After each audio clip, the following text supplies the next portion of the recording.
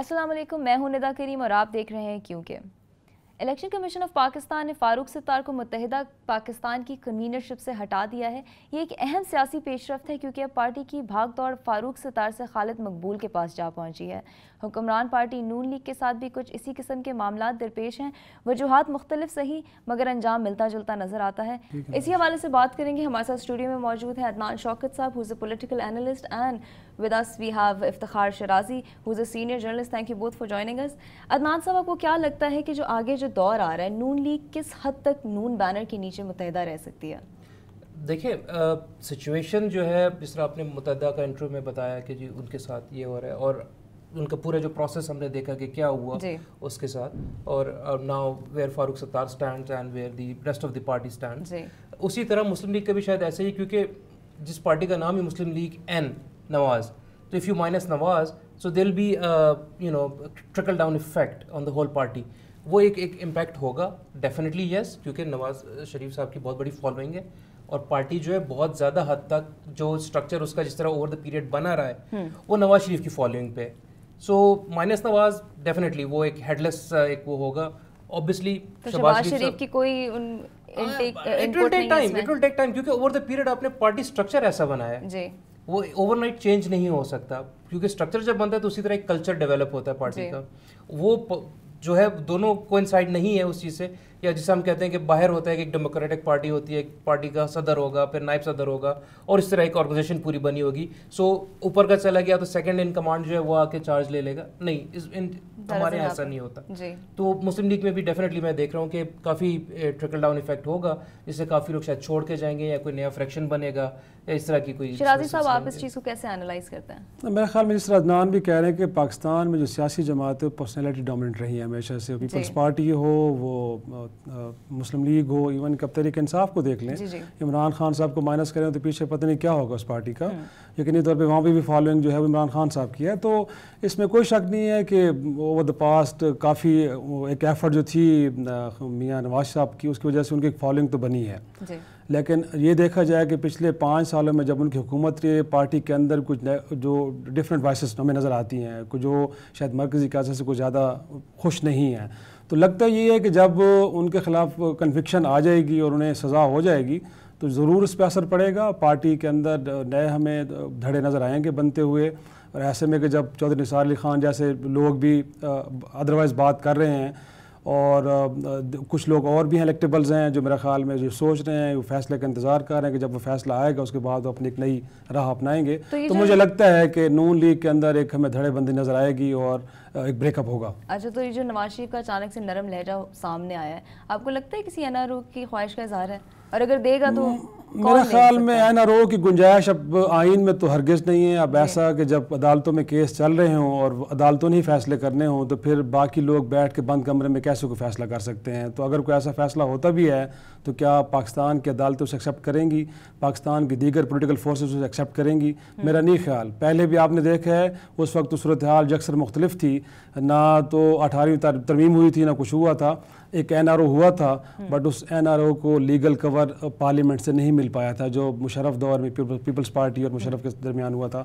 تو مجھے نہیں لگتا کہ اب کوئی این آر او کا زمانہ ہے اور میاں نواز صاحب کو بھی لگتا یہی ہے کہ وہ عدالتوں سے فیصلہ لینا چاہتے ہیں اور ان کا خیال بھی ہے کہ اس نتیجے اس اس فیصلے کے نتیجے میں انہیں جیل بھی جانا پڑے تو جیل جانے کے لیے تیار ہیں۔ اب وہ کسی این آر او کے موڈ میں نظر مجھے نہیں آ رہا ہے۔ آپ کو بھی لگتا ہے کہ این آر او کی کوئی گنجائش نہیں ہے؟ N R O actually again is set کہ اوور دا پیریڈ کلچر تھوڑا سا چینج ہو گیا ایکسپوجر لیول بڑھ گیا لوگوں کا۔ انٹرنیٹ ہے ٹی وی کے چینلز ہیں ریڈیو ہے۔ تو لوگ اب پروز اینڈ کونز اس کے انالیسس کرتے رہتے ہیں کہ اچھا یار پہلے جب ہوا تھا تو کیا ہوا تھا؟ جی۔ تو اب وہ اگر دوبارہ کبھی ایسا ہوتے ہوتا ہے یا اس طرح کی کوئی چیز ہوتی ہے تو اس کی ریزسٹنس ہوگی۔ چاہے وہ مینجمنٹ کے حوالے سے ہو ہماری اسٹیبلشمنٹ اس کو رجسٹ کرے چاہے اس کو لوگ رجسٹ کریں یا چاہے پولیٹیکل پارٹیز رجسٹ کریں۔ سو میرے خیال سے اوور آل تو سب ایک پیج پہ آ گئے کہ نہیں ایسی کوئی چیز نہیں ہوگی۔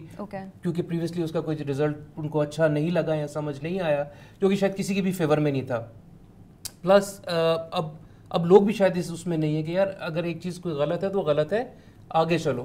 لیٹس موو فارورڈ اور پرانی چیزوں کو اب سائڈ پہ کرو۔ اور بار بار اب موقع دینا دوسروں کو تو یہ کہاں کا وہ انصاف ہوا پھر۔ تو جو اب نون لیگ تھوڑی کمزور ہوتی نظر آ رہی ہے اگلا الیکشن آپ کو کیا دکھاتا ہے؟ دیکھیں الیکشنز ہمارے یہاں اکثر و بیشتر مینیج ہی ہوتے رہے۔ جی۔ ٹھیک ہے جی؟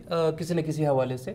تو اگر اس دفعہ اگر مینیج نہیں ہوئے تو اگر آپ اوور آل پاپولیرٹی پہ جاتے ہیں تو لوگوں کا اکثر ایک الیکشن سے پہلے ایک فیز بنتا ہے کہ جی جس طرح لاسٹ ٹائم تھا کہ جی پی ٹی آئی وہ ہر بندہ پی ٹی آئی تھا، یا اس سے پہلے آپ دیکھیں جب پیپلز پارٹی جیتی تو محترمہ بے نظیر کی شہادت کے بعد ایک ویو ڈیولپ ہوئی کہ نہیں جی سب لوگ پیپلز پارٹی کی طرف انکلائنڈ ہو گئے suddenly without getting into the past یا بغیر اس چیز کو انالائز کیے ہوئے کہ اچھا کیا ہوا تھا، کیا نہیں کیا تھا پریویس پرفارمنس کیا رہی ہے، کیا نہیں رہی۔ ایک ایک ویو ڈیولپ ہوئی اور سب نے لوگ ادھر ووٹ کرنے چلے گئے۔ اگر مینیج نہیں ہوتے تو میرے نزدیک اس دفعہ پھر ایک ہنگ پارلیمنٹ ہوگی۔ کوئی میجورٹی نہیں لے جا سکے گا ایپسلوٹ جس طرح اب ان کے پاس ہے مسلم لیگ کے پاس۔ تو اس میں ڈفرینٹ پارٹیز کا ڈفرینٹ رول ہے ڈفرینٹ ایریاز میں ان کی اپنی ایک پریزنس ہے ڈفرینٹ ریجنز میں ان کا اسٹرانگ ہولڈ ہے۔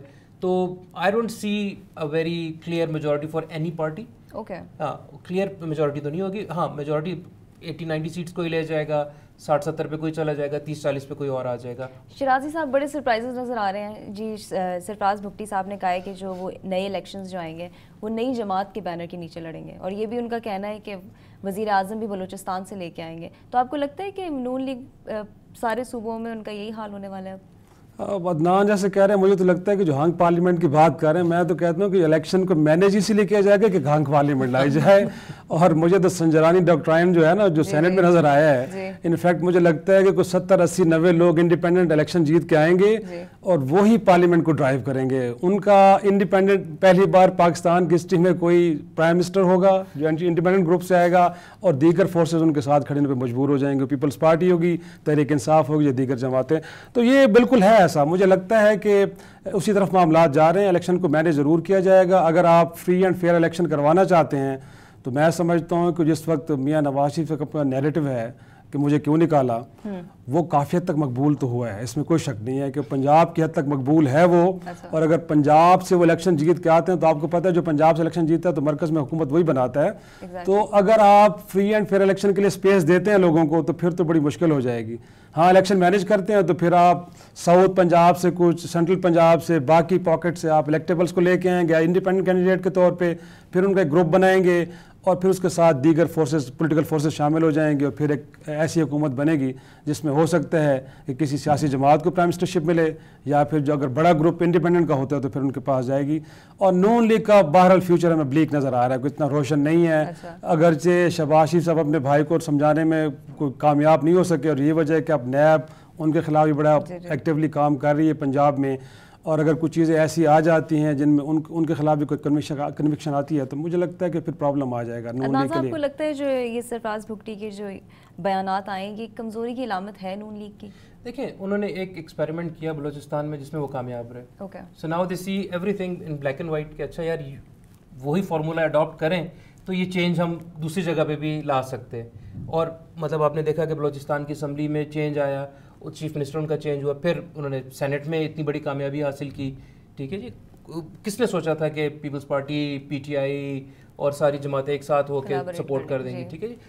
نعرہ ان کا بہتر تھا ان کا جو ایم تھا وہ بہتر تھا کہ جی چھوٹا صوبہ احساس محرومیت اور یہ ساری چیزیں وہ کام کر گئیں ٹھیک ہے؟ اب ان کا خیال ہے کہ یہ یہی فارمولا نیکسٹ لیول پہ بھی اڈاپٹ ہو جائے گا۔ سو لیٹس سی ہو جائے گا؟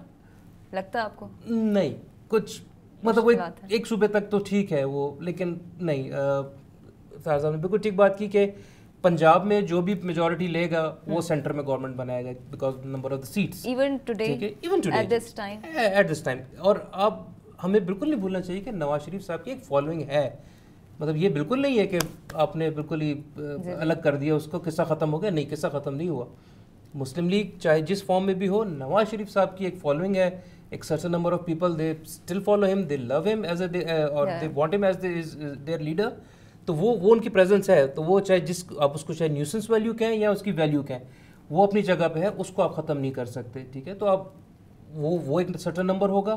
پی ٹی آئی کی اپنی ایک فالوئنگ ہے جو اربن ایریاز میں ہم نے دیکھی ہے رورل ہاں میں شاید اتنی نہیں ہے جو ہم بائی الیکشنز میں بھی ریزلٹس دیکھتے رہیں کہ وہ رہ جاتے ہیں بہت ساری جگہوں پہ. لیکن اربن ایریاز میں ایک رسپانس ڈفرینٹ ہوتا ہے جب وہ جیسے عمران خان صاحب ابھی کراچی میں نکلے تو لاکھوں لوگ آ گئے جی لاہور آ گئے پنجاب میں آ گئے تو لاکھوں لوگ آ گئے اربن اونلی رولر ان کی تھنکنگ ڈفرینٹ ہے. Probably they need to learn a lot now P T I کو. ان کا تو پروسیس ابھی اسٹارٹ ہوا ہے. فیئرلی نیو پارٹی اور پھر میرا خیال میں عدنان جو نون لیگ کو الیکشن لڑنے کا تجربہ ہے وہ دیگر جماعتوں سے کافی بہتر ہے. میرا خیال میں الیکشن ڈے کے اوپر اپنی جو آپ جو ایک پاپولرٹی کو کنورٹ کرتے ہیں ایک وننگ کمبینیشن میں وہ ایکسپرٹیز نون لیگ کے پاس تو ہے لیکن باقی لیک کرتی تھوڑا بہت۔ اور مور امپورٹنٹلی سندھ میں پیپلز پارٹی سندھ سینٹرک ہے وہ وہاں تک محدود ہے اس سے آگے نہیں بڑھ پا رہے۔ گا کلیم ضرور کر رہے ہیں پنجاب میں ریوائیو کریں گے کے پی کے بھی کریں گے کوئی ایفرٹ بھی وہاں پہ نہیں ہو رہی۔ ان کا خیال ہے کہ اگر ہم نے سندھ کو سیکیور کر لیا تو ہمارے اتنا ہی کافی ہے۔ پی ٹی آئی میرا خیال میں الیکشن ڈے کے اوپر میرا خیال ہے سیکنڈ الیکشن ان کا ہے بڑا الیکشن دیکھنا یہ ہے کہ الیکشن ڈے کے اوپر کیسے پرفارم کرتے ہیں۔ وہ میں سمجھتا ہوں کہ نون لیگ کو ایج ہے ان کے اوپر۔ الیکشن ڈے کے اوپر پرفارمنس جو نون لیگ کی ہے وہ لاسٹ الیکشن میں بھی آپ نے دیکھا ہے۔ جی۔ اگرچہ مومنٹم بنایا ہے عمران خان صاحب نے۔ جی۔ اور پاکستان کی ہسٹری میں پہلی بار ٹرن آؤٹ اتنا زیادہ رہا ہے۔ آپ نے دیکھا جی، بھی ہوگا سب سے زیادہ رہا ہے پاکستان کی ہسٹری میں۔ لوگ گھروں سے باہر نکلے ووٹ کاسٹ کیا ہے۔ بٹ میرا خیال میں الیکشن ڈے کے پر پرفارمنس نون لیگ کی تھی اس طرح کی پرفارمنس پی ٹی آئی کی نہیں تھی۔ وجہ یہ ہے کہ وہ لوزر تھے دیکھیں اب میرا خیال میں ہم نے تو ضمنی الیکشن میں دیکھا ہے۔ لودھرا کا الیکشن اگر آپ دیکھیں تو اس میں اگین پھر نون لیگ اب آپ کو کہیں بہتر نظر آتی ہے۔ جی۔ ان کی الیکشن اسٹریٹجی ان سے کہیں بہتر تھی۔ جی۔ وہ سیٹ لوز کی ہے اور باقی اسی طرح انہوں نے سرگودا کے اندر بھی یا چکوال کے اندر بھی دیکھیں۔ تو بائی الیکشنز کے اندر ہمیں نون لیگ کہیں بہتر نظر آ رہی ہے کیونکہ الیکشن ڈے کے اوپر ان کی جو اسٹریٹجی ہوتی ہے وہ ابھی تک بھی پی ٹی آئی سے کہیں بہتر ہے۔ چودھری نثار کی بات کرتے ہیں اگر وہ نون لیگ سے علیحدگی کا فیصلہ کرتے ہیں تو آپ کو کیا لگتا ہے کہ do you think this is the beginning of an end مجھے لگتا ہے کہ ایک نقصان تو ہوگا۔ دیکھیں اگین نون لیگ کے اندر پھر نثار صاحب کی ایک فالوئنگ تو ہے۔ ان کا ایک اپنا ایک گروپ ہے۔ ایک کلاؤٹ ہے جس کے اندر میں سمجھتا ہوں کہ اور نہیں تو بیس، پچیس، تیس ایم این ایز ہیں اور سات، اسی، ستر، اسی ایم پی ایز ہیں جو سمجھتے ہیں کہ وہ نون وہ چودھری سار کے ساتھ کھڑے ہوں گے۔ تو اگر وہ ایک علیحدہ گروپ بنا کے چلتے ہیں تو یقینی طور پہ بہت بڑا ڈیمیجنگ ہوگا نون لیگ کے لیے۔ ہاں یہ ہے کہ وہ اس امبریلا طرح الیکشن لڑتے ہیں یا کہ انڈیپینڈنٹ کینڈیڈیٹ کے طور پہ لڑتے ہیں، مشکلات ضرور ہوں گی۔ اور میرا خیال ہے، لگتا مجھے یہ ہے کہ شہباز شریف ایک کوشش کریں گے کہ وہ پارٹی سے باہر بھی نہ جائیں، ان کو ٹکٹ بھی دیا جائے اور وہ پارٹی انٹیکٹ رہے اب تک ہم نے دیکھا یہ شروع میں شاید یہی تھا کہ جب کنوکشن ہوئی تھی ان کی سپریم کورٹ سے نوازی صاحب کی ہمارا ہمارا خیال تھا کہ جب وہ نااہل ہو جائیں گے اس کے بعد یہ پارٹی ٹوٹ جائے گی۔ لیکن وہ جو ایک نیریٹو لے کے چلے ہیں جی ٹی روڈ پہ وہ کافی حد تک پاپولر ہوا ہے۔ اور میں سمجھتا ہوں کہ خود نون لیگ کے اندر بہت سارے لوگ کے جو نواز شریف صاحب سے ناراض ہیں وہ چاہتے بھی ہیں پارٹی چھوڑنا لیکن اس وقت جو نیریٹو کی مقبولیت ہے وہ بھی ان کو مجبور کر رہے کہ ابھی پارٹی میں رہنا ہے۔ تو میں سمجھتا ہوں کہ بہت سارے لوگ ایسے ہیں کہ جو خیر چودھری نثار کی طرح راستے جدا کرنا چاہ رہے ہیں جی، جی۔ لیکن اتنا پولیٹیکل اور سوشل پریشر ہے اس نیریٹو کا اتنا پریشر ہے کہ ابھی تک وہ باہر نکل نہیں پا رہے۔ اب دیکھنا یہ ہے کہ جب مئی میں ان کی گورنمنٹ ختم ہوتی ہے کیئر ٹیکر سیٹ اپ آتا ہے کنوکشن ہوتی ہے اور کچھ اور چیزیں باہر آتی ہیں جیسے پنجاب سے نیب نکال رہا ہے اس کے بعد میرے خیال میں کچھ لوگوں کو تھوڑی سی ہمت ہوگی کہ ہاں وہ اپنے راستے جدا کر لیں۔ آپ کو کیا لگتا ہے؟ دیکھیں ہر پرانے لیڈر جو پرانے چلتے آ رہے ہیں ان کی اپنی ایک ویلیو ہے چودھری سار صاحب کی بھی ہے۔ بڑے عرصے سے پارٹی کے ساتھ ہیں اوور تھرٹی پیریڈ کا تھرٹی ایئرس کا ان کا ایک ایک ساتھ ہے ان کا۔ ان کی ڈیفینیٹلی ویلیو ایک ہے۔ اپنے علاقے میں وہ الیکٹیبل کے طور پہ بھی آتے ہیں اسی لیے اکثر آتا ہے کہ انڈیپینڈنٹ کھڑے ہو جائیں گے۔ ٹھیک ہے؟ لیکن اوبیسلی جب اس طرح کی سینئر لیڈرشپ آپ سے الگ ہوتی ہے تو پارٹی کو نقصان تو ہوتا ہے۔ ٹھیک ہے جی؟ مطلب آپ یہ کہیں گے جی صاحب اگر پیپلز پارٹی سے الگ ہوئے تو پیپلز پارٹی کو کوئی نقصان نہیں ہوا ڈیفینیٹلی یس نقصان ہوا۔ اس علاقے کی سیاست پہ بہت بڑا اس اس کا اثر ہو پڑتا ہے۔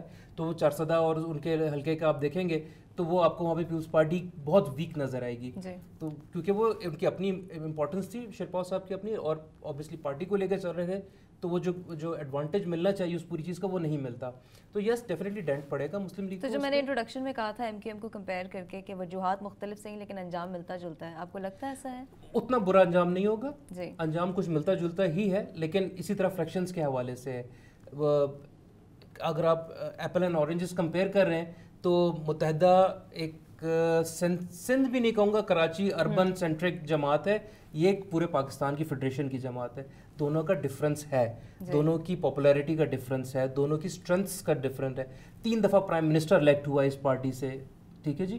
اور وہ اب وہ ایک اور ایم کیو ایم جو ایک سرٹن نمبر آف سیٹ سے آگے کبھی بھی نہیں بڑھ سکی۔ حالانکہ ٹرائی انہوں نے پورے پاکستان میں جی۔ کیا پنجاب میں بھی کیا کے پی کے پی میں بھی کیا۔